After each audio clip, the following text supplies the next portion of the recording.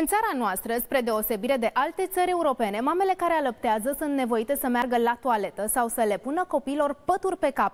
Asta ca să nu se uite chiorâși la ele unii și alții. O lege care să garanteze dreptul mamei de a alăpta în public și dreptul copilului la hrană ar rezolva situațiile jenante în care sunt puse mamele. Iar Miruna Ioani, un medic stomatolog întors în țară după câțiva ani petrecuți în Marea Britanie, luptă pentru asta cu îndârjire.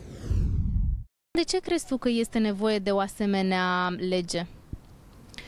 Pentru a proteja mamele care alăptează în public în fața celor care ar putea, de exemplu, să le dea afară din locul în care sunt sau să le trimită la toaletă să alăpteze pentru a exista undeva clar, negru pe alb, dincolo de legile bunului simț, că acest lucru este permis. Alăptatul, în primul rând, ar trebui să aibă loc oriunde și oricând cere bebelușul.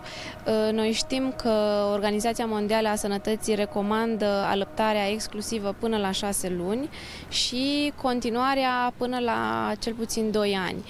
Și vezi când ai un bebeluș, mai ales la nou născut sau când sunt foarte mici, este foarte greu să explici acelui copil mai stai încă 10 minute până ajungem acasă sau mai stai încă 5 minute până ajungem la camera specială de alăptat. Pentru că un copil plânge din niște nevoi de uh, că este foame, că este sete, frig, că este dor de mama, iar sânul este tot universul copilului practic. El doar asta știe ca alinare și ca soluție. Cele mai multe mesaje pe care le primesc de la mămici sunt de uh, mulțumire și de încurajare a acestui uh, proiect. Sunt însă și mesaje care îmi spun, uh, uite, o să-i dau soțului meu să citească articolul respectiv, ca să nu mă mai certe că, las, uh, că nu las bebelușul să plângă în parc. Și mesajele astea pe mine mă, chiar mă motivează și mă încurajează, pentru că știi, la un moment dat, uh, te, stai și te întrebi, oare bine ce fac? Dar genul ăsta de feedback de la oamenii care sunt acolo în situație este cel mai motivant și care contează cel mai mult până la urmă. Este foarte, foarte important să vedem exemple în jurul nostru.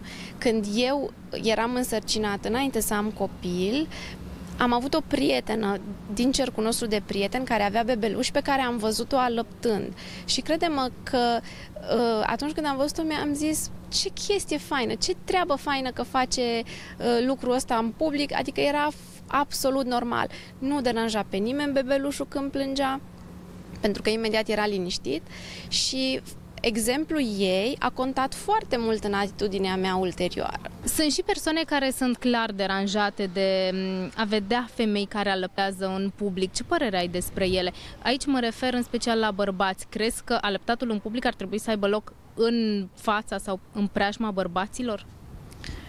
Uh, tocmai de asta avem nevoie de o lege ca să nu mai credem, să nu ni se mai pară, să fie, uh, știi cum este vorba aia, unde e lege, nu-i tocmeală. Crezi că amenajarea unor spații speciale pentru femeile care alăptează ar rezolva problema?